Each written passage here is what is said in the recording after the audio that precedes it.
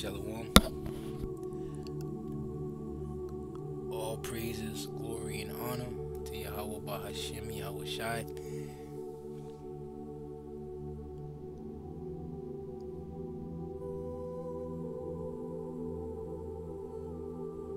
Peace, love, and salutations to you believers out there that have been redeemed by the blood of our Lord and Savior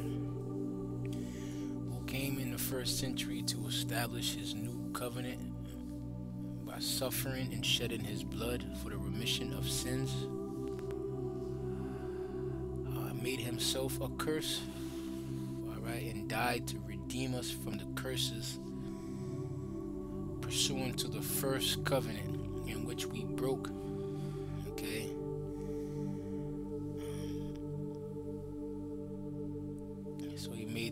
Contract null and void.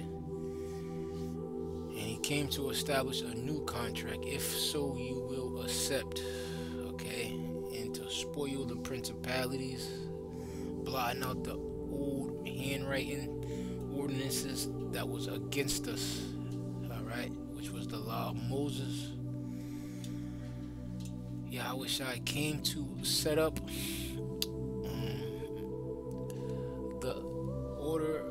Melchizedek, all right, and what this is that uh, royal priesthood that was established. It had nothing to do with the Levitical priesthood. It had nothing to do with the law of Moses, all right. What was established in the first century was a royal priesthood, and in order for you to have a royal priesthood, it could only be underneath the order of Melchizedek. A royal priesthood underneath the Levitical priesthood would make absolutely positively 100% no sense. Why? Because um, when you break down that word Melchizedek or Malak Tazadak, it is the king of righteousness, okay?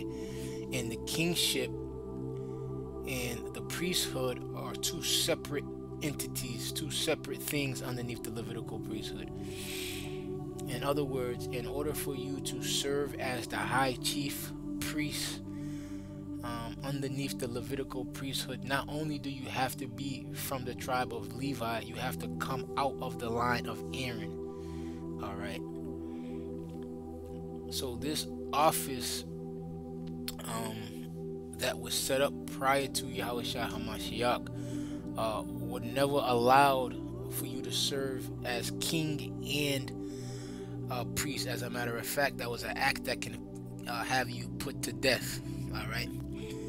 So in these times, um, 2,000 plus years after the death of Yahawashi Hamashiach, what is established is a royal priesthood, the order of Melchizedek, in which Yahawashi Hamashiach is our intercessor. He is our mediator.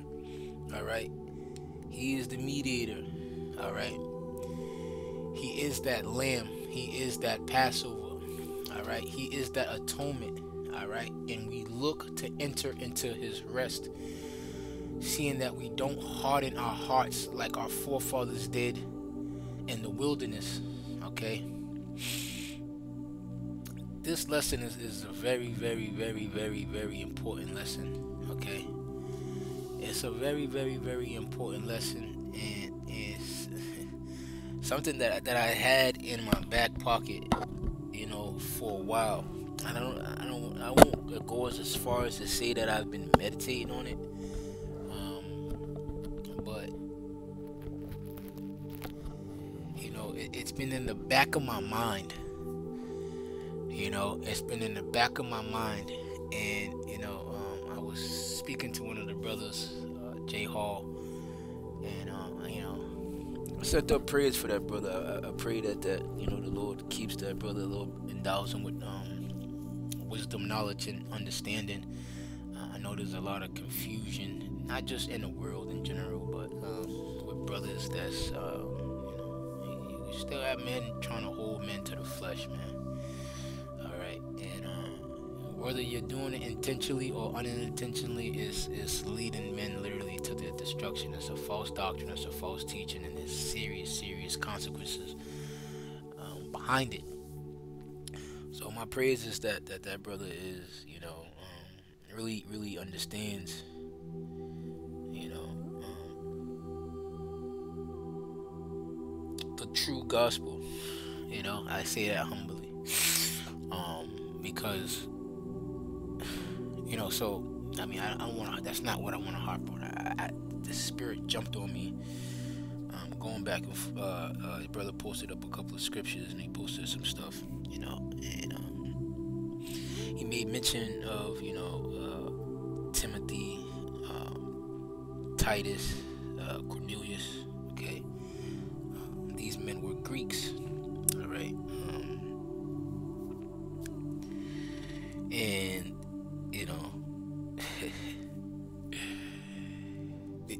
They, they would be perceived as so-called white men today.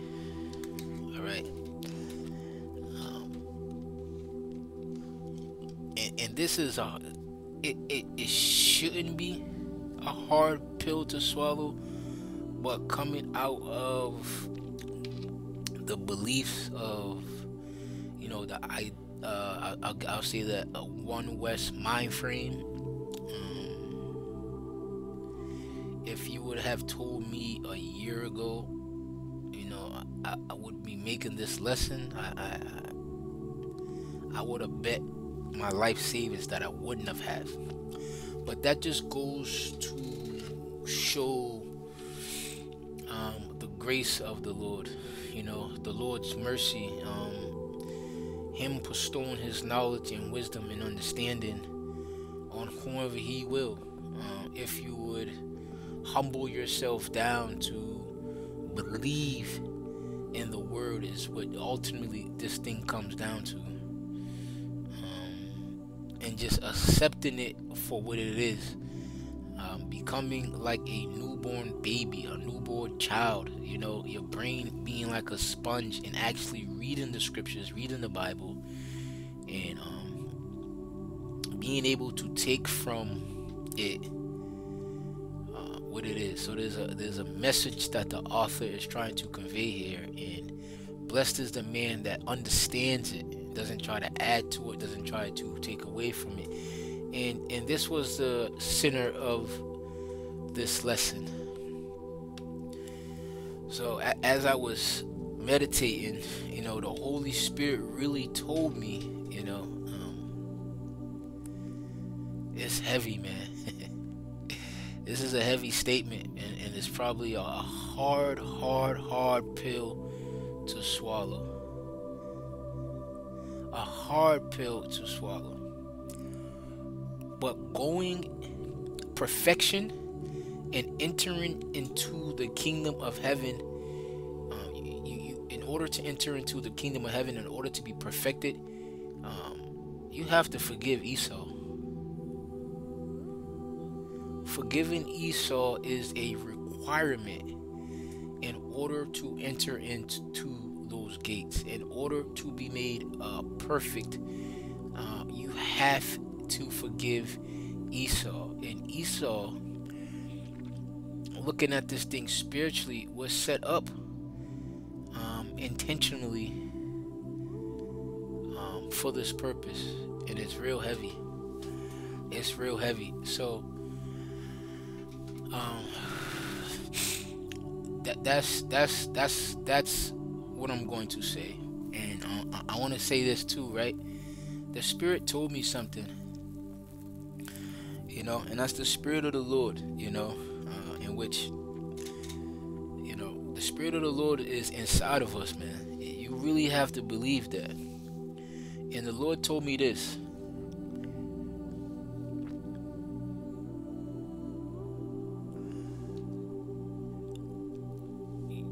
lot of men's uh, lack of mercy.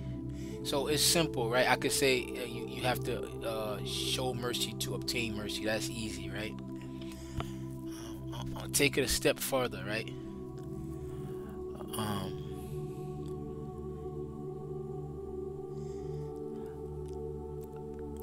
a lot of men's lack of mercy is literally going to get them blotted out of the book of life. This is heavy.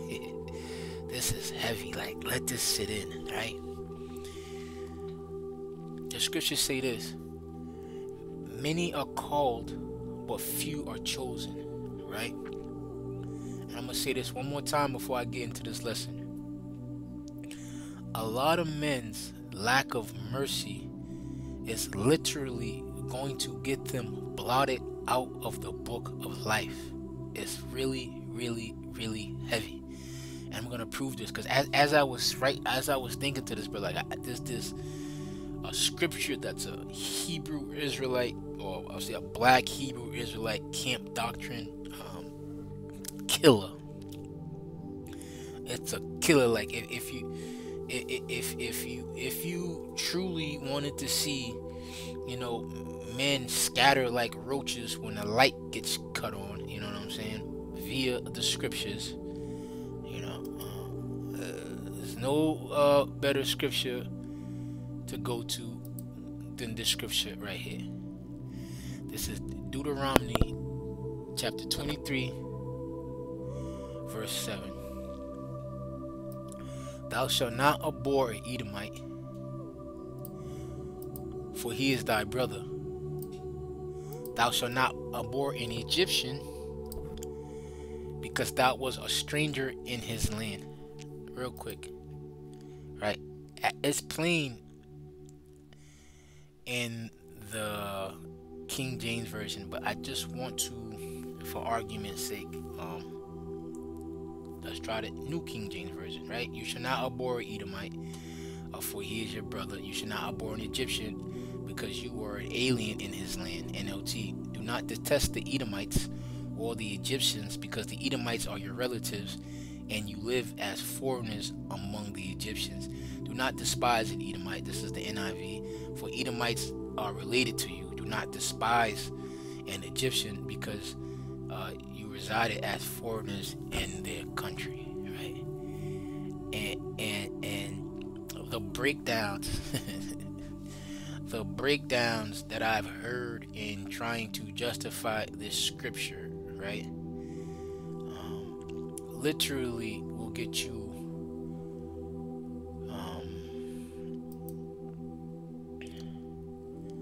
blotted out of the book of life. Revelation chapter 22, verse 19. Right, I'll start with the King James Version first. Uh, if any man shall take away from the words of the book of this prophecy, God shall take away his part out of the book of life and out of the holy city and from the things which are written in this book. Okay, let's do NLT. And if anyone removes any of the words from this book, of prophecy. God will remove that person's share in the tree of life and in the holy city that are described in this book. Right? I testify to everyone who hears the words of the book uh, uh, words of the prophecy in this book. If anyone adds unto them, God will add unto him the plagues described in this book. And if anyone takes away from the words of this prophecy, God will take away his share in the tree of life and the holy city, which are described in these books. He who testifies to these things says, Yes, I am coming soon. Amen. Come, Lord Yahawashi HaMashiach. Okay. So I, I heard men say that this was a clerical error, which we really we really laugh at that. You know, as friends of Yahweh we the understood the, the, the I heard men say that it was talking about uh, Abraham's people, or you know, just it's not supposed to be there. It was a mistake. Um, the butterfly effect that happens if you believe and you die teaching this doctrine and you don't repent from this, this doctrine is so catastrophic and so destructive because it literally um, tears down everything Yahawashi stood for. I mean everything Yahawashi stood for, right? Um, Luke chapter 23. Uh, then, uh, then said Yahawashi, Father, forgive them, for they know not what they do. And they parted his raiment and cast lots. NLT, Yahweh Father, forgive them for they don't know what they're doing. And the soldiers gambled for his uh, clothing uh, by throwing dice. All right. Um, and they divided his. So who was the heaven? Who was Yahawashi saying to forgive? Right. And makes mention of and they parted his raiment. Who was the ones that was parting his raiments? The soldiers, right? And the soldiers gamble for his clothes, throwing dice. So, um, forgiveness is not just something that Yahawashi Hamashiach taught, but it was something that he embraced. All right, it was something that he embraced. He embodied uh, this form of forgiveness. Right. Let's go down to. I want to read 48. Right. It says, "Be ye therefore perfect, even as your Father." Which is in heaven is perfect, right? So how do you become perfect, right? How do you become perfect, right? Yahweh Mashiach is literally telling you how you become perfect, right? And there's a reason why he says, Matthew chapter 5, verse 38, you have heard that it hath been said, an eye for eye and a tooth for a tooth. But I say unto you that ye resist not evil, but whosoever shall smite thee on the right cheek, turn to him the other also. So we know that it had been said. Where has it been said? An eye for eye and a tooth for a tooth, and the law of Moses. All right. But what did Yahawashi came to do? He came to fulfill the law of Moses. All right. He came to complete and to abolish the law of Moses. All right. And let's prove this, right? Because we can argue back and forth about what, what, how we feel, but what did he do? what did he do, right? But I say unto you, resist not evil, but whosoever shall smite thee on the right cheek, turn unto him also on the. So to say that Yahawashi didn't change the law of Moses, you're deceived. Satan has really deceived you, and he's giving you no understanding. If any man will sue thee at the law, take away thy cloak. Uh, let him have thy cloak also. Whosoever shall compel thee to go a mile, go with him twain. Um, verse 43. You have heard that has been said, excuse me, thou shalt love thy neighbor and hate thy enemy, right? Um, and this is something that was, you know, um, this is the stance that men that push the Levitical priesthood on people um, are in these camps that's telling men that they're cursed underneath the old covenant. This is their stance, right? Um, to love thy neighbor and hate thy enemy, right? And often we will use this when I was in a camp an eye for eye and a tooth for a tooth. And I did that in my ignorance, right? Really not really understanding the nuances of Yahawashi HaMashiach, right? And then again, it said, Ye have heard that has been said. So that's something that's been floating around, you know. Thou shalt love thy neighbor and hate thy enemy. But I say unto you, love your enemies, bless them that curse you, and do good to them that hate you, and pray for them which despitefully use you and persecute you. This is a change. This is a fundamental change, and this is a radical um, teaching that Yahushua was presenting in the first century. All right, far from what we had been, um, far from what we had understood.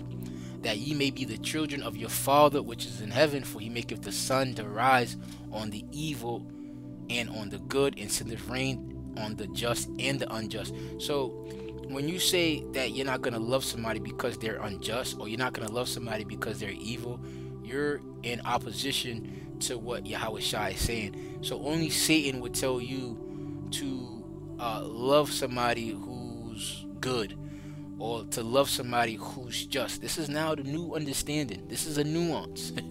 this is a nuance, okay? And the only way to get into the kingdom of heaven is through Yahawashi. So he's literally given us the blueprint in order to be perfect, in order to see God, in order to get into the kingdom of heaven. And I'm going to prove this, right? That ye may be the children of your Father which is in heaven, for he maketh the sun to rise on the evil and on the good, and sendeth rain on the just and the unjust. For if you love them which love you, what reward have you? Don't even the publicans do the same, and me and my ignorance you know, yeah, I love my brothers, man. I love my brothers, man. You know, uh, uh, who's your brother? And it was actually a guy who said that, who tried to justify himself. And this is by asking that same question, well, who is your brother? And this is when we get the parable of the Good Samaritan, where the Levite passed up the man that was busted up, beat, and robbed on the side of the road. And you also had the priest who did the same thing, but a Samaritan came through and helped him. The man actually said, you know, it was the Samaritan it's the brother. So for you to say who is your brother or they seek to try to justify um, it's not the right way to go because the Lord even covered that base as well, right? Uh, for if you love them which love you, what reward have you. Do not even the publicans do the same? And if you salute your brother only, what what, what more do you than others? Do not even the publicans uh wait, do not even the publicans so so what, what that did what that did for me and my testimony um and, and and living like this and having a mind frame like this not only did it have me uh, filled with this rage and hatred that makes you a narcissist. That's what a narcissist is. A narcissist is somebody you know somebody who only loves people that's in only love the brotherhood only does good to people who they think or they perceive to be good. That makes you and, and what you see is you know you, you, see it around you a bunch of narcissists um, that are filled with hatred jealousy envy, um, which and, and, if you're filled with uh, hatred in your heart toward your brother that makes you a murderer okay um, let's prove this uh, let's prove this, right? Uh,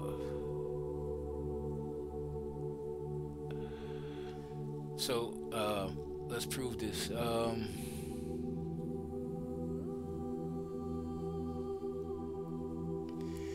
Uh, you have heard that it was said by them of old time, Thou shalt not kill, and whosoever shall kill shall be in danger of the judgment, right? But I say unto you, whoever is angry with his brother without a cause shall be in danger of the judgment. And whosoever shall say within his brother Raca shall be in danger of the council, but whosoever shall say that food shall be in danger of hellfire. Right? So when you when you have hatred or you have um, you know, you know, in your heart toward your brother, the Lord accounted that to be what? As a uh, counted you to be what? As a murderer. All right, he equated that the same thing as a, as somebody that that is a, a murderer, you know. Um, Therefore, if thou bring thy gift unto thy heart, thou remembers that thou hast an alt, uh, that that brother has an alt against thee. Leave thy gift before the altar, and go thy way. First be reconciled to thy brother, and then offer thy gift. So when you go to the highways and byways with a brother, um, when you go, you know, if you guys are going to go do the work, you're presenting a sacrifice, you know. But if you have a, a, a alt with your brothers, I can't trust this brother. I don't trust this brother. You know what I'm saying? And you let that simmer inside, and you don't present that to your brother, you know, or, or, something's going on or whatever the case may be. But you go through the highways and you on the highways and you're talking about brotherly love and this, that, and the third. That's not an acceptable sacrifice to the heavenly Father. You know, that's not an acceptable sacrifice to the Heavenly Father. So you're supposed to handle your art because once you let those things um, marinate in your mind, you know, it, it'll come out the wrong way. And then it's like, you know what I'm saying? It's just the Lord is like, yo, bro, nip that in the bud. You know, don't even think those thoughts. Like, get that out of the way. You know what I'm saying? And this is the um this is the new covenant right here, brothers. This is this is being changed from within you know that's why it says um let's see um uh, uh says uh says uh see you have heard in old times it says thou shalt not commit adultery but I say unto you whosoever looketh on a woman to lust after her hath committed adultery with her already in his heart and we know that heart means the lahar which is your mind so the Lord this in this new covenant you know you, you're fighting your eyes.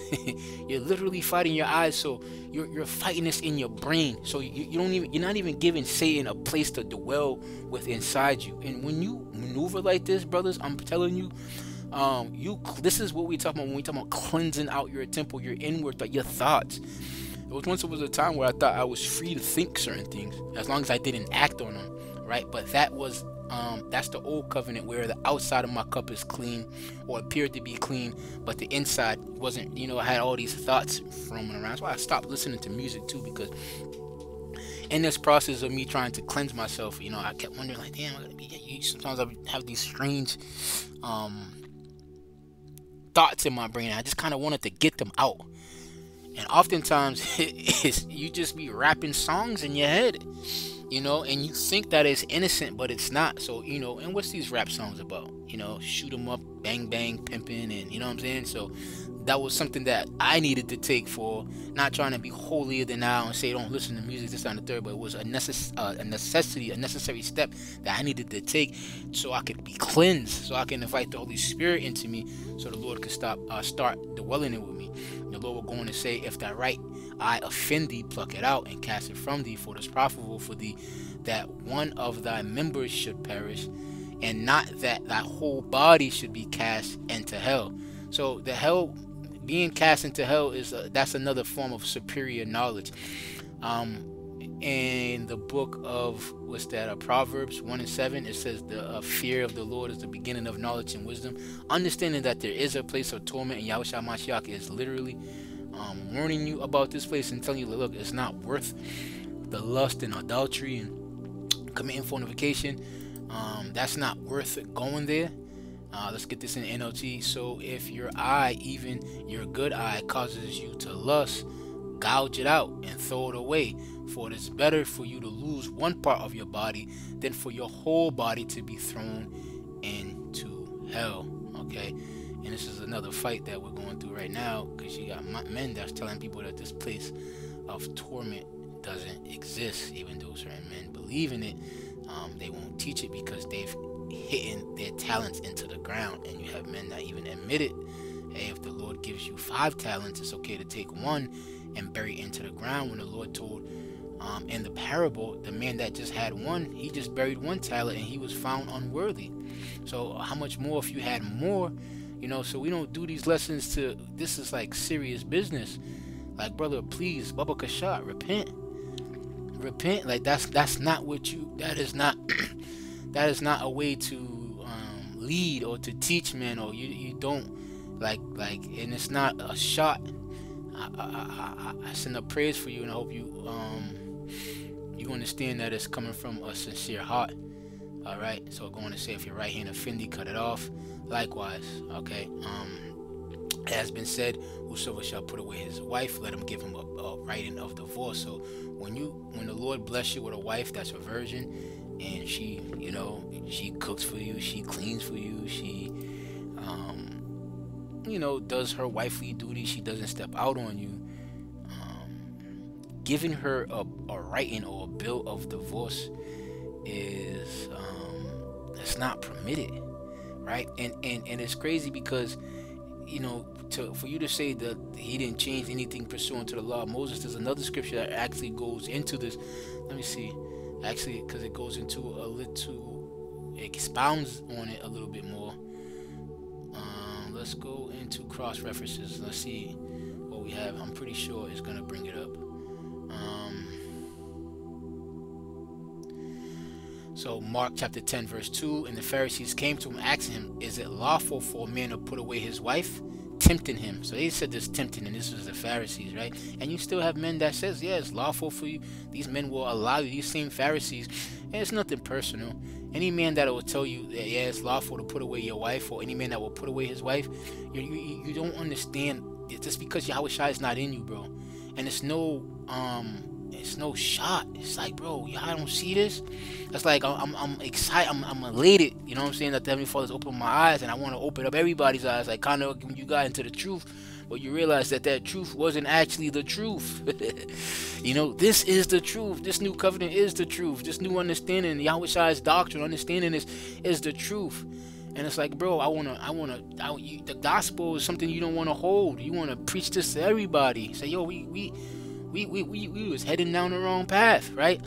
So it says, uh, Mark chapter 10, verse 2, and the Pharisees came to him and asked him, Is it lawful for a man to put away his wife, tempting him? And he answered and said unto them, What did Moses command you? and they said, Moses suffered to write a bill of divorce and put her away. Uh, for you to say that the law of Moses and the law of Yahweh are the same is crazy, bro.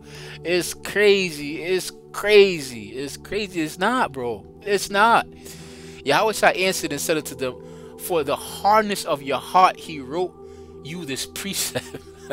but from the beginning of the creation of God, uh, them male, uh, God made them male and female. And And for this cause shall a man leave his father and his mother and cleave unto his wife, and they twain shall be one flesh. So they are no more, uh, no more twain, but one flesh. What therefore God have joined together, let no man put asunder. All right. Um. So, so so this wasn't this wasn't a thing. Uh, uh, this wasn't Moses did that because of the hardness of your heart.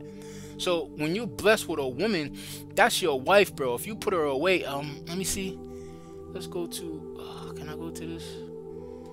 Uh, what's that? Mark 10. Let's go to Mark 10 real quick.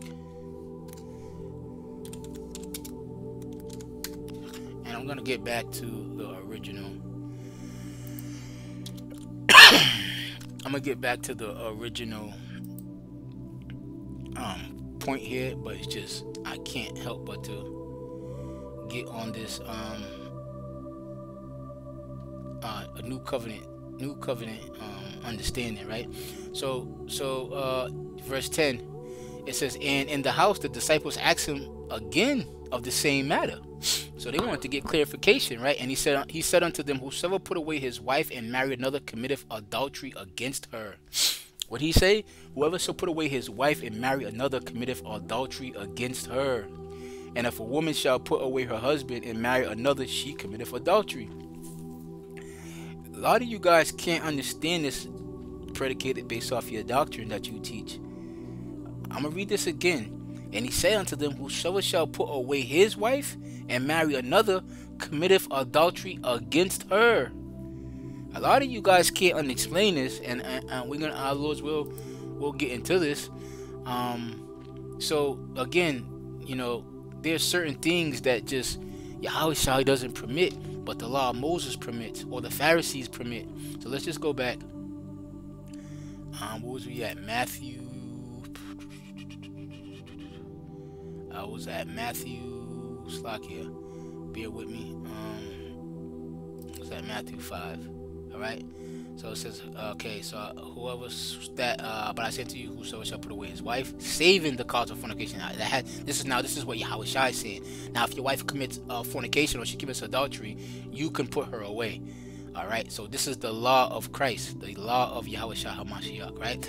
That uh, that whosoever shall put away his wife, saving for uh, the cause of fornication, causes her to commit adultery. Whosoever shall marry her, that is divorce, committeth adultery. And again, ye have heard that it has been said of old time, thou shalt not forswear, but thou shalt perform thy oaths, right? So in the law of Moses, it was okay to swear, but you had to perform thy oaths. But in the law of Christ, what are we doing? But I say unto you, swear not at all. What are we doing in the law of Moses? I have been heard that you've been said of them my oath. Now, if you go here, if you go to a cross reference, you can prove this. this is easy. Thou shalt not take the Lord thy name in, in, vain, for the Lord will not hold you guiltless that taketh his name in vain. Uh, neither shall you swear falsely by my name, neither shalt thou profane the name of God. I'm so in Exodus 20 and 7, they tell you like if you if you say oh, on God or on, on everything I love, and I'm, I'm, I'm saying this for edification's sake, you know, it has to be true, you know, or you can't swear falsely by the by the name of God, right? So again, uh, ye shall not swear by the name falsely.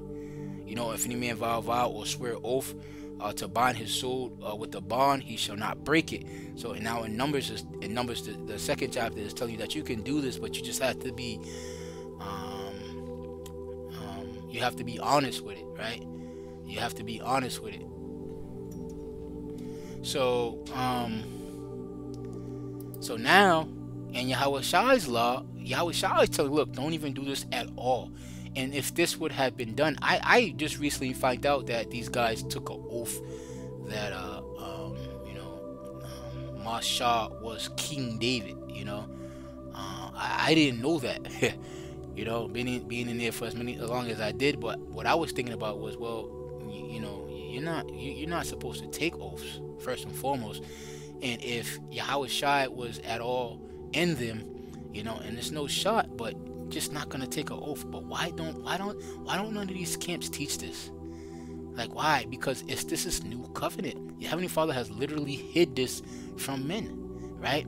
But I say unto you, swear not at all, neither by heaven, for it is God's throne, uh, nor by earth, for it is His footstool, neither by Jerusalem, for it is the city of a great king. Neither shalt thou swear by thy head, because thou cannot make one hair uh, white or black, but let your communication yea be yea, nay, nay, for whatsoever is then uh, more than this is evil.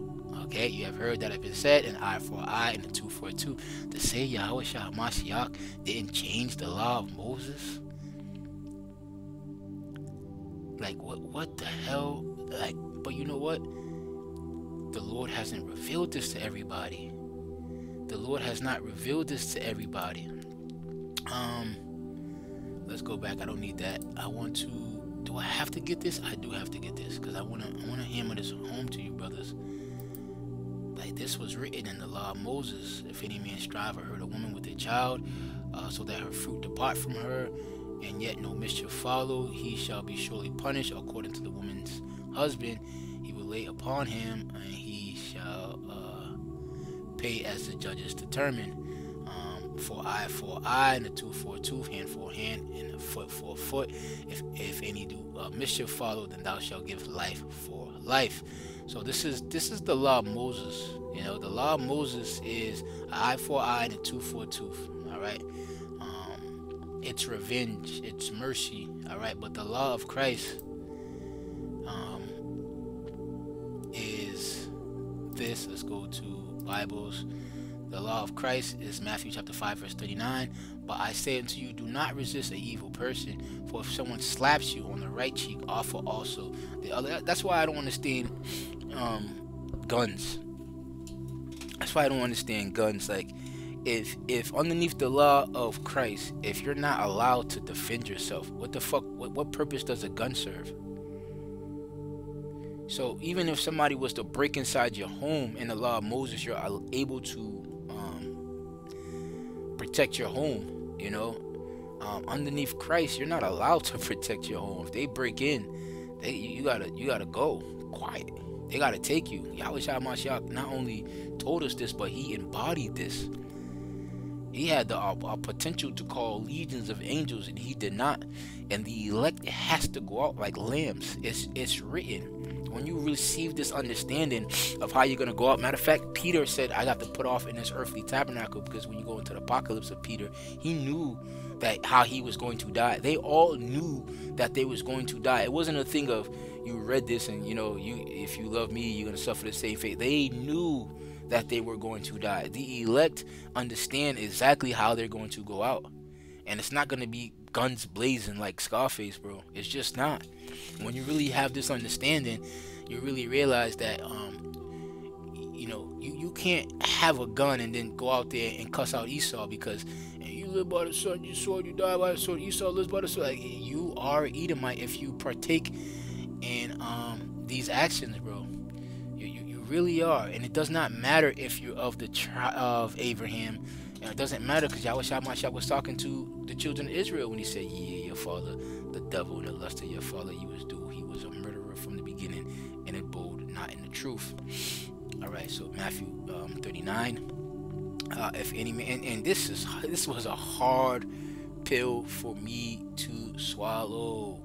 I shot at people in the world for less. So so so for fucking excuse my mouth, right? Um, this is not easy, bro. It's not easy. But guess what? um, I mean, I, I want to say this. I don't want to say it's not easy. I don't want to say it's not easy. I know this is a hard saying. I, I know that this is a hard saying. I, I'll leave it like that. Um, you've heard that's been said. Uh, where we at here? Okay, so it goes into the quote and soon Ye heard it said, Thou shalt love thy neighbor, hate thy enemy. Yet King David said, Do not I hate them that hate thee? Am I not grieved with those that rise up against thee? I hate them with perfect hatred. I count them. I know what King David said, but Yahawashi HaMashiach supersedes uh, King David. Uh, he supersedes Moses. That's why Moses faded away. That's why Elijah faded away. All right, but Yahawashi HaMashiach was still there. He said, This is my son whom I'm well pleased. Hear ye him. Um, so when you get to talking about batching babies' heads and that's cold blooded, man. I feel so bad for those kids, man, because it's not you um, that has to suffer. You know what I'm saying? The Lord will really make you eat of that tree, bro. Like this is what's happening. Like you really reap what you sow You really reap what you sow. So when you get to talk, I don't want nobody bashing my little baby's heads in, nor do I want anybody bashing your baby's heads in. Be careful about the vibration you're pushing out into this world, bro. It's, this is not a joke. This is not a joke. This is not a joke. This thing is deadly serious, man. This thing is deadly serious, bro. You reap what you sow. If you don't listen to Yahawashi Mashiach, bro, you are going to be condemned condemned, condemned. Doesn't matter what was said in the past. Doesn't matter. You guys could run into the Old Testament. You could run to uh, King David. You could run to uh, we ain't living in the time of, of love. We living. What are you talking about? Those things play out underneath the earth. Love and hate plays out underneath the earth. You know what I'm saying? It's not. A, we just not a, just a time of just hate, hate, hate, hate, hate, or the time of being born. You know, people die, people are born. There's love, there's hate. You know what I'm saying? So to just to disregard what he, he Satan got y'all disregarding what Yahweh said in, in, in Ecclesiastes the third chapter is your is your your feel good. It's crazy. It's heavy what's happening in these last times, right? But I say unto you, love your enemies, bless them that curse you. So, you know, when we when we decide, you know, um, oh shoot, um, there are some Gentiles that there's a remnant of the Gentiles, a small portion that Heavenly Father is just going to have mercy on that are not of the nation of Israel. Um, you know, what did they do to us? They cursed us. They put up curses. Um, Apostle uh, Tahar said, um, you know, put the curses on these guys, and they cursed us. And um, but Yahawashi Mashiach said, you know, don't curse us. So even if we were your enemies, um, the scripture still says to bless them that curse you. So you know, we we not, we ain't throw up no curses on none of you brothers. You know, only thing we did was pray for you brothers, and that's what was commanded of us uh, from Yahawashi. But if we were, um, why would you curse us? If we're your brothers, why wouldn't you? If we're going off, why wouldn't you pray for us? Why wouldn't you, you know, do good to us? Why wouldn't you? Why would you curse us? Right? Um, when you read the New Testament, you know that cursing uh, if you type in cursing and, and you just type in the New Testament, it's basically tell you don't do that. Matter of fact, watch this. Let's go to cross references real quick. So uh, it's not nothing. I didn't take that personal, but I'm just saying this is not what the Lord is requiring. Um, um so again, uh, Luke chapter 23, verse 34, and then Yahweh said, "For Father, forgive them, for they know not what they do," and they parted his raiment. Um, Luke chapter 6 verse uh, 34 and you have uh, and if ye lend to them of whom you hope receive what thank ye have for sinners also lend to sinners and receive as uh, receive much again but love your enemies and do good and lend and hoping for nothing uh, for your reward shall be great and ye shall be the children of the highest for he is kind unto the unthankful and to the evil. So yeah, he God is kind to the unthankful and the evil, and he requires us now to be kind to the unthankful in the evening as well. Romans chapter 12, verse uh, 14. Bless them which persecute you, bless and curse not. Bless and curse not. So even if we were persecuting you, you didn't you underneath the law of Christ, you don't have authority or right to curse anybody even if we were persecuting you. How much more if we're not persecuting you? Bless and curse not. Right? Check this out. Therefore, if thy enemy hunger, feed him. And I attested to this. You know, you know, um, this guy who's um he had like the white pride on his back and the neo neo neo Nazi stickers and stuff like that. And um as I was going through what I was going through, you know, um, trials and tribulation and error, you know what I'm saying? Um, first of all, like just that whole ah, you you the op is he's the op, you know what I'm saying? White supremacists and you know, and he came through and he was like, "Oh, um, I need a juice. Anybody can I, can I get a juice for somebody?" And my first thought was, "I ain't giving you no fucking juice, nigga." Like in my mind, and then immediately this scripture came to my mind. I gave him the juice, bro. I felt so good. It feels so corny. like I felt, but I felt so good. Like you know what I'm saying. And I know that the Lord was proud of me for doing that. But I fulfilled this. And I'll continue to fulfill this until I'm dead and out of here, bro. I, I could care less. Right? Therefore, if thy enemy hunger, feed him. If he thirst, give him drink. For in so uh, in, in doing so, thou shalt reap coals of fire on his head, right? Um, be not overcome with evil, but overcome evil with good. Sounds real Christian. Sounds real Christian. We get made fun of for that, bro. They call us the men in GMS. They call us Christian. Oh, they might as well go to Christianity.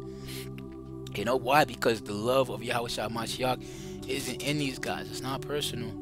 Um, working with your own hand, uh, being reviled, we bless, being persecuted, we suffer it, uh, being defamed, uh, we entreat, uh, we are made as the filth of the world, uh, we are the offscourt of all things unto this day. So I, we can go on about this New Testament. Um, uh, do not render evil for evil, railing for railing, but counterwise blessing, knowing that ye are thereunto called, that ye shall inherit a blessing.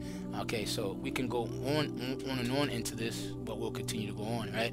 Um, it says, uh, For if you love them which love you, what reward have you have? Even publicans do the same. And if you slew your brethren only, what more do others? So that's what they say. If you slew your brother, oh, that's talking about your brothers. Uh, what do you mean? The scripture is literally saying, if you slew your brother only, what more than others? So how can that be? Man, man, that's a that's a spell that's over you that will block you from seeing what Yahawashi. That's why we call ourselves friends of Yahawashi. Because the water Yahawashi, he's really revealed to us his secrets, everything right? This is a beautiful plate of food that you're receiving um through the spirit, bro. You know, I can't boast and brag about this. This was given to me. Right? So if you salute your brother only, what more do you have than others? And mind you, that's that used to be my excuse. The water Yahawashi, he redeemed me from that because if I would have died in that thinking, I would have been condemned do not even the publicans do so? And they use the publicans because the publicans were like hated in Israel. the publicans was like sellouts, the tax collectors, siding with the Romans, making people poor. Like, that was like the worst of the worst. So the Lord Yahawashi again, we always tell you brothers, go back to the first century spiritually. Be brought up, ask, pray. Lord, take me back to the first century. You gotta pray, Lord, please, Baba Kashah, take me back to the first century. Let me understand what what was going on here around this time. And the Lord will do so. It says, Be ye therefore perfect, even as your Father which is in heaven perfect. And I used to, when I used to read the scripture, I used to say, Yeah, you gotta you gotta aim to be perfect. The Lord know that you ain't gonna be perfect. You can't be perfect, but you got what He wants is for you to strive to be perfect. Ah, nah, no. No, let me tell you how you're made perfect. Let me let me teach you the gospel. Uh, no, sorry. I'm not teaching you the gospel. I'm preaching you the gospel. And it's the Holy Spirit that's going to teach you all things. But I'm proclaiming the gospel. Once you cleanse out your inside, what, what's happening is the Holy Ghost is going to enter in. And once that old man dies, all right, Nicodemus, uh, Saul, once Saul turns into Paul, all right, uh, once that old man dies, um, what happens is the Yahawashi enters in. He takes over the vehicle. And once he takes over the vehicle, guess what? You're perfect. But the only way you can become perfect and, and receive the Holy Spirit is by cleansing out your lahab. And he's telling you how to do so in Matthew's the fifth chapter, Matthew's the sixth chapter, and Matthew's the seventh chapter. That is the new heart. All right, that's the new heart, the teaching of Yahawashi HaMashiach. Okay, um, so I want to go back to. Let's go back. So we started out with what uh, Deuteronomy, right? Thou shalt not abhor Edomite, for he is thy brother. You know, it's telling you that he's your brother.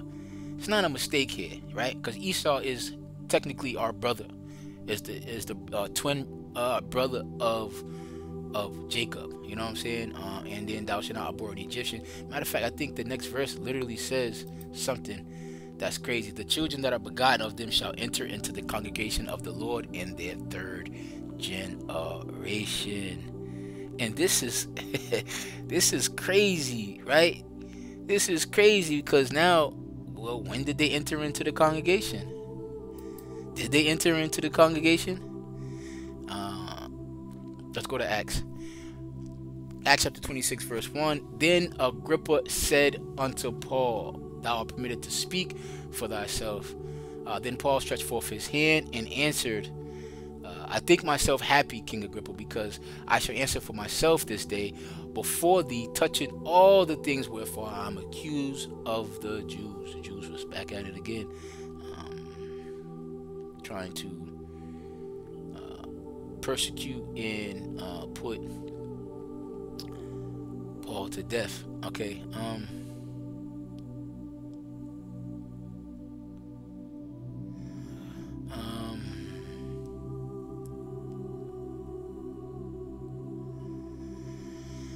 Uh, I want to kind of jump around here. Um, right. I want to jump around because this is this is very long. Um,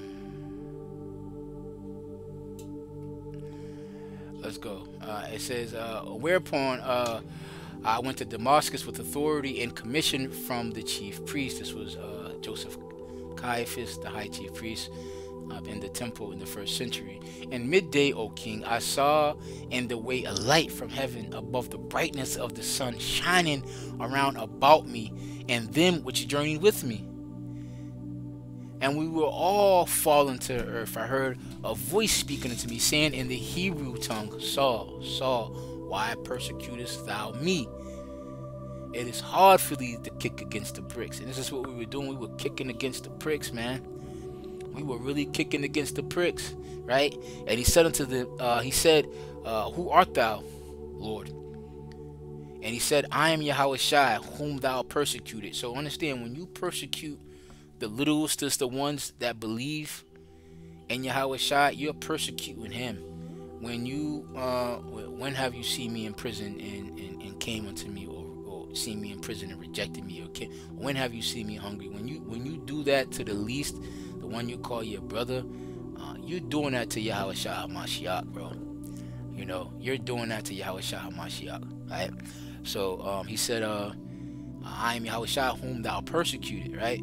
Uh, but rise, and, and that's another thing too, like you, you, who are you to question another man's faith or, or you know what I'm saying? Like you can't do that. If, if somebody believes in the Lord, let them believe in the Lord, bro. It's none of your business try to gatekeep and stand at the kingdom of heaven like a bouncer and you know, brown paper bag test somebody and condemn somebody. That's crazy, bro. Right? But arise, I digress. Uh, uh, but arise and stand on thy feet, uh, for I have appeared unto thee for this purpose to make thee a minister and a witness both of these things which thou hast seen and all the things which will appear unto thee, delivering thee from the people and from the Gentiles, and unto whom now I send thee. What? Hold on let's go to this real quick. Let's go to the bible um, and um, let's go to the nlt it says i will rescue you from both your own people and the gentiles. Yes i'm sending you to the gentiles. So the reason why he's making a difference between your own people and the gentiles. And he said yes i'm sending you to the gentiles. So let's go back to this. What's this? Acts 17 uh, 17 let's flow into this real quick, right? It says, But arise and stand on your feet, for I have appeared unto thee for this purpose, to make thee a minister and uh, a witness both of the things which thou hast seen and those things in which will appear unto thee, right? Semicolon. Delivering thee from the people and from the Gentiles whom I will send thee, to open their eyes. Whose eyes? Their eyes the Gentiles and the people. Right? the Gentiles and the people. Okay? Delivering uh, uh delivering thee from the people uh, and from the Gentiles and to whom I will send thee again to open their eyes to turn them from darkness to light and from the power of Satan to God that they may receive forgiveness of sins and her inheritance among them which are sanctified by faith that is in my name. Let's look up this definition of sanctified. It's very, very, very, very, very, very important. Um, this definition, sanctified. Okay. Strong's G37, Hagiadzo. Hagiadzo. Strong's G37, Hagiadzo. So that's Hagiadzo, Strong's G37. A very important um, definition here, right? Because it's it's to purify by expiation, free from guilt of sin, to purify eternally by renewing of the soul, to cleanse, to dedicate people to God with purity, concentrate things to God, to separate from profane things and to dedicate to God, to render it to acknowledge, right? So, or to hallow. So, what's happening to these Gentiles is they're being cleansed, they're being purified, they're being uh, purified, their soul is being renewed from the inside. They're receiving this new covenant, all right? And it just is what it is. Like this, like it's okay. Breathe, cope. Have mercy, bro. Have mercy, bro. it's okay. It says, Whereupon, O Agrippa, I was not disobedient unto the heavenly vision, but showed first unto them of Damascus and at Jerusalem and throughout all the coast of Judea, and then to the Gentiles, that they should repent and turn to God and do the works meet for repentance. For this cause the Jews caught me in the temple and went about to kill me. So the Jews went to about to kill Paul because he taught the Gentiles. Not because he was teaching Israelite foreigners. Come on, man. Not because he was teaching people to repent. People been teaching men to repent. Peter in them was known. Peter was Yahweh's first fruit. So he's what he was what Yahweh from the beginning in his ministry. They been was known to be with sinners. That wasn't a big thing. The, the publicans, the harlots. You know, Matthew was a tax collector. You know, um, the the the the uh, what's the, the the Daggerites and you know what I'm saying? All those people, the Zealots and stuff like that. So that wasn't a thing um to them. What was a thing that was worthy of death in the first century was damn, this Paul is you you you preaching this doctrine to the Gentiles? Man, you tripping. And it's the same attitude that they have today. These men will kill us, bro. If given an opportunity and a chance, bro, the things that these men say concerning what we're teaching, on the gospel that we're teaching, these men, these men are, these men, there's no doubt in my mind, they would murder us, bro. They would crucify us, bro. Crucify us, bro. The things that we heard, these niggas is talking about love your enemies. These niggas is Christians. These niggas is, that's what a man said. These niggas talking about Paul is the apostle to the Gentiles, bro. He is. Chill. Relax. Breathe. Cope. So it says, For this cause the Jews caught me in their temple, went about to kill me. Having therefore attained help from God, I continued unto this day, uh, witnessing both to the small and great, saying none other things than those which the prophets and Moses uh, said should come. So he he the, the Lord prophesied, uh, Moses prophesied about Yahawashi coming and Yahawashi having the ability to um, forgive men of their sins and also um, he said, um, provoke thee to anger with the people that is not a people, Bible. So let's go to this real quick. I want to go to, I want to go to the EU 32 and 21. I want to go to what he was talking about here. And, um, what what what Paul was talking about here in uh, what Moses said. So this is Deuteronomy 32, uh, verse 21. Uh, they have moved me to jealousy with that which is not a God.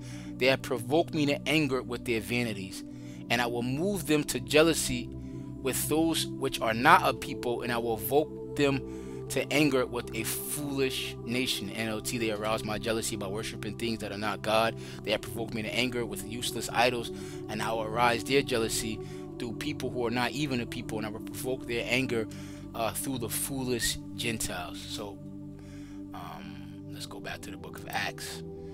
Um,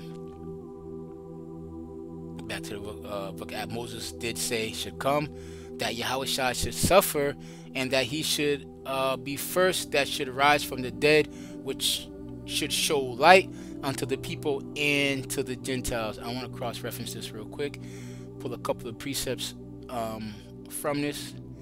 Um, couple of precepts. Well, this is this is beautiful, you know. Um, like how, how can you come up against this, bro? Um,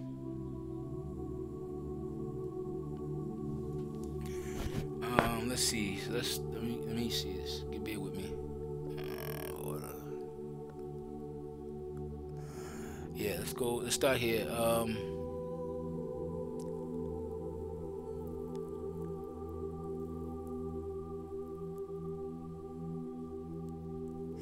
My praises shall be of thee in the great congregation. I will pay my vows before them that fear him. The meek shall eat and be satisfied. They shall praise the Lord that seek him. Your heart shall live forever. All the ends of the world shall remember and turn unto the Lord. What? All the ends of the world shall remember and turn to the Lord. One more time. All the ends of the world shall remember and turn to the Lord, and all kindreds of nations shall worship before thee. It's not a big deal. For the kingdom is the Lord's, and he is the governor among the nations. All they that be fat upon the earth shall eat and worship. They shall go down to the dust and bow before him, and none shall keep alive his own soul. Okay, um, let's get a couple more precepts and then we'll go back. And Psalms 27 is is um Psalms 27, Psalms 28. So this is the law, huh? wow.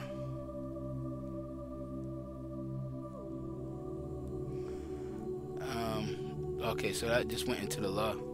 Uh, so let me go. There's a lot, lot of precepts that they have here. Oof.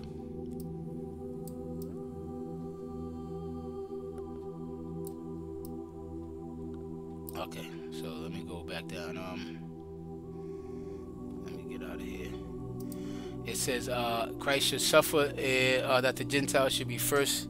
Uh, that's how Christ should suffer and should be the first that should rise from the dead and should show light unto the people and to the Gentiles, to the people and to the Gentiles, right?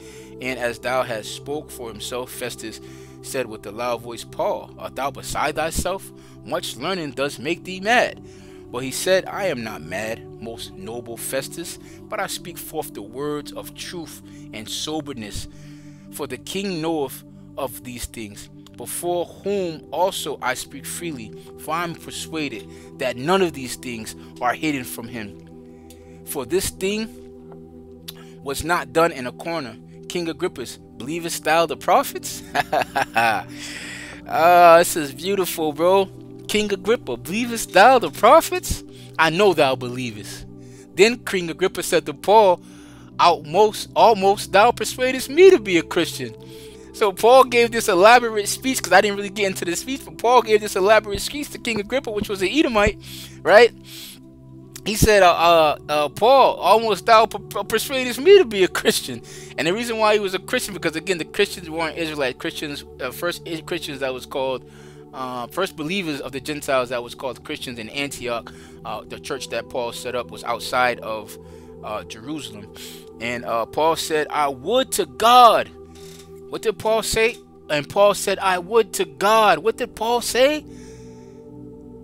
And Paul said, I would to God that that not only thou, but also all that hear me this day we're both almost and altogether such I am, such except these bonds. And when you go into the history, that room was filled with a bunch of Edomites and, and um, uh, Japhites. All right. So he said, I wish that everybody in here was a Christian uh, or like me, except for these bonds. When he had spoken, the king arose up and the governor and Bernice. Um, Bernice was in there. She also was an Edomite. Uh, and they that sat with them and when they were gone aside, they walked between themselves, saying, This man does nothing worthy of death or bonds. And then said uh, Agrippa unto Festus, This man might have been set at liberty if he had not appealed to Caesar. So Paul appeared to Caesar. So he had to have been sent to Caesar. But if he would have never have been sent to Caesar, Agrippa and Festus would have let them go. But it was Israel that wanted him dead, that wanted him bound. Likewise, it was um, the Jews who wanted Yahweh Mashiach dead. But the the uh uh was that Pilate? Pilate washed his hands. A lot of this stuff is a hard pill for you men to swallow. It's a hard men for you men to swallow. But guess what? It is the true gospel. It is the true gospel. It's no filter. It's no. I have nothing to gain by this. I, I there's no cash app here. Don't you ain't gotta cash at me a dime. You ain't gotta pay no tights to me. You don't gotta pay me a dime. You know whatever it is, I, am going. I'm willing to go to jail. I'm willing to die. I'm willing to stand behind this gospel. Whatever it is, if it's a, a, a Paul said, I'm not ashamed of the gospel of, of, of Christ. All right, and and now now now, what you have men saying in this is that Paul was saying this to get out of trouble. That's a lie. That's a lie because when Paul was ready to go to, Paul had uh, rallied up um, a donation that was um, given from the churches, he was going to go into Jerusalem. Mind you, in Jerusalem, these men, men made, Paul had money on his head. These men literally put a hit on Paul's head. He was a marked man, and the church did not want Paul to go into Jerusalem because it was so much tension. They knew that he was a marked man. You had men that um said they wasn't going to eat or drink. They made a confession they wasn't going to eat and drink until they killed Paul. So so people was telling them, please, Paul, don't go to Jerusalem. Don't go to Jerusalem, right? Um, but Paul said, look, I'm going to Jerusalem. You know what I'm saying? I'm going to Jerusalem, and it is what it is, right? And uh, I, that I don't want to read too much because for the sake of time, but I, I, I'll start up, right?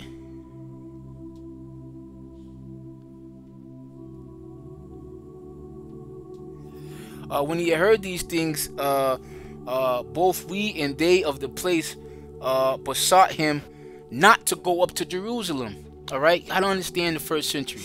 They begged him not to go up to Jerusalem, but Paul answered and said, "What you what what mean you to weep and to break my heart? Right? For I'm ready not to be bound only, but also to die at Jerusalem for the name of the Lord Yahawashi Come on, man. Paul wasn't ducking no smoke. He wasn't trying to get out of nothing when he was saying what he was saying to Festus. He wasn't trying to wiggle out, out of trouble. That man said he stood on the truth, bro. He stood on the truth. He was ready to die for Yahawashi. He was ready to be in, in bonds, be in prison for Yahawashi.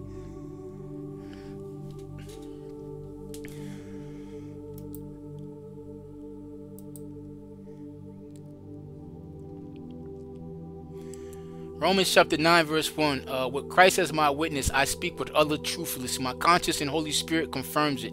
My heart is filled with bitter and sorrow for my people, my Jewish brothers, my uh, brothers and sisters.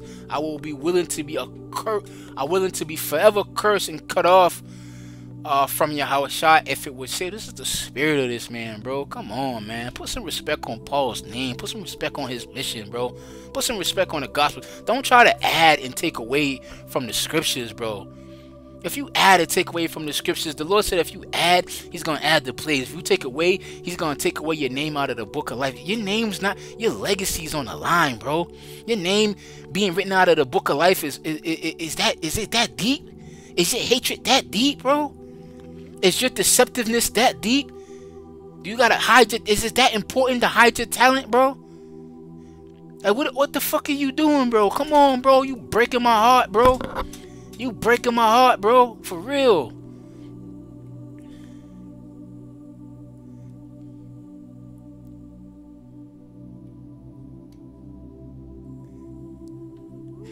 Check this out, man. Check this out, right? Romans chapter 9, verse 13.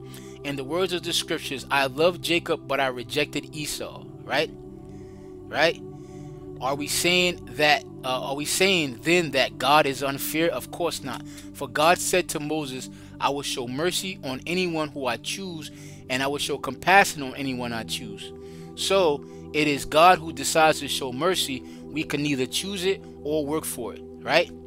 Right? So now, when you go into the Lord saying, Jacob have I loved and Esau have I hated, look at what he's going to say, right? Look at what he's going to say, right? In the same way, even though God has the right to show his anger and his power, he is very patient with those to whom his anger falls, who was destined for destruction. He does not he does this to make the riches of his glory shine even brighter on those who he shows mercy, who he prepared in advance for glory we are amongst those who he selected, both from the Jews and from the Gentiles. Concerning the Gentiles, God said in the prophecy of Hosea, Those were not my people, and I will now call them my people, and I will love those whom I did not love before. Heavy, heavy, heavy heavy. Y'all reading Romans the ninth chapter wrong because y'all reading it from a standpoint of hatred. Y'all not even understanding what's happening here. This is heavy. This is beyond the flesh. This is the spirit, bro. This is beyond what you think it is. Concerning the Gentiles, God says in the prophecy of Hosea, the uh, those are uh, uh, those who were not my people. I will now call them my people. Those and I will love those whom I did not love. Jacob have I loved, Esau have I hated. What's happening right now? Not everyone is of Israel. Watch this. Watch this. Then, at that place where it was told, You are not my people, there they shall be called the children of the living God. Concerning Israel, Isaiah prophet crieth out, Though the people of Israel as numerous as the sand of the seashore, only a remnant shall save. For the Lord will carry out his sentence upon the earth quickly with finality. And Isaiah saith in the same uh, same thing in another place, if the Lord of heaven of armies have not prepared, uh, uh, spared a few of the children, we would have been wiped out like Sodom and destroyed like Gomorrah. Damn. Damn. So so you got people that are of the children of Israel, right? That are gonna be destroyed, and you got people that are of that destroyed nation that's gonna be saved. The Heavenly Father is cold-blooded. He's cold-blooded. He's cold-blooded. So I'm gonna close it out there. I hope and pray that that was edifying. Um, until the next time, I say shalom.